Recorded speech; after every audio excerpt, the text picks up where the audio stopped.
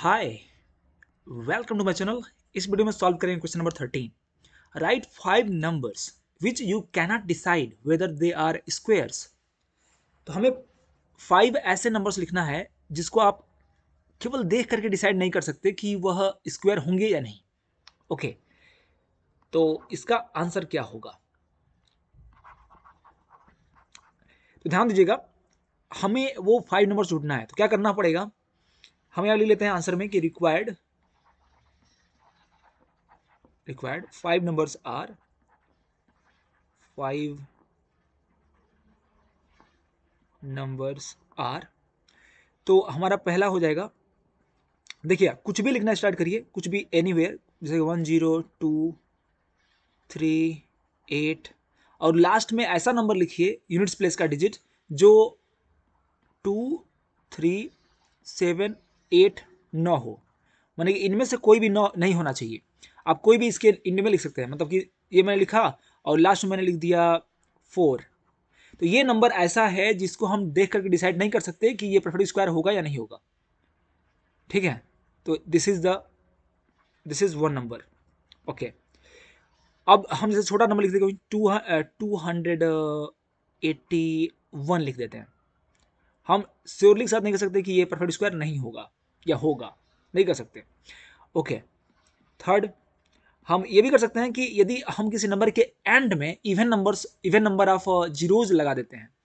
जैसे कि late suppose हम लगा देते हैं 91 के आगे यदि दो ज़ीरो लगा दें तो हम यहाँ पर कंफर्म नहीं है कि ये परफेक्ट स्क्वायर होगा या फिर नहीं होगा। मतलब हम ये डिसाइड नहीं कर सकते।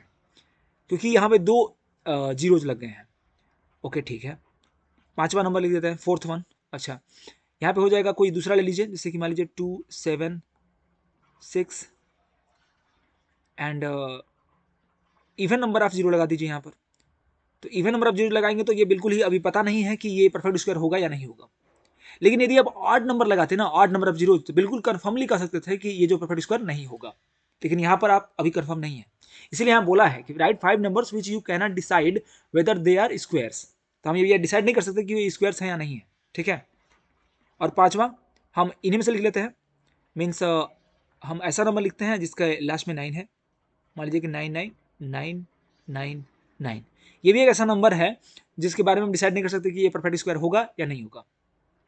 हमें मतलब इसको फैक्टराइज करना पड़ेगा, तब चेक करना पड़ेगा, तब पता चलेगा, ठीक है? बात ये है कहने का मतलब। कहने का मतलब कि इसको सॉल्व करने के लिए, इस क्वेश्चन को आंसर करने के लिए मैंने दो प्रिंसिपल्स यूज़ किया।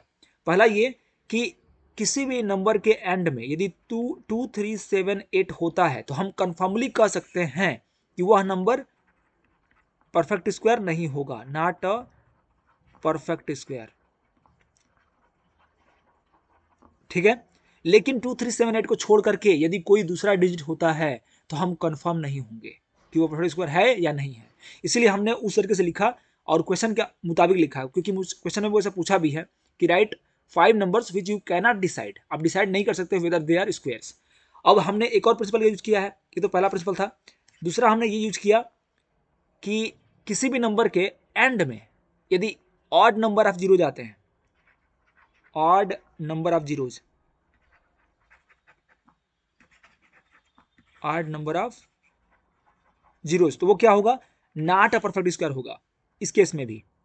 लेकिन हमने यहाँ पे क्या किया? इवन नंबर ऑफ़ जीरोज का यूज़ किया। इससे ये पता चलता है कि हम कन्फर्मली नहीं बता सकते कि ये नहीं है एक स्क्वायर मतलब या है भी या नहीं है, हमें नहीं पता। हमें डिसाइड करना पड़ेगा कैसे? फैक्टराइज करके डिसाइड करना पड़ेगा कि इसके नंबर ऑफ़ फैक्टर्स जो हैं पेयर में आ रहे हैं कि नहीं आ रहे हैं। तो this is the whole concept for this question यदि आपको अच्छा लगा तो लाइक कर दीजिएगा तो शेयर करिएगा। And thank you so much for watching bye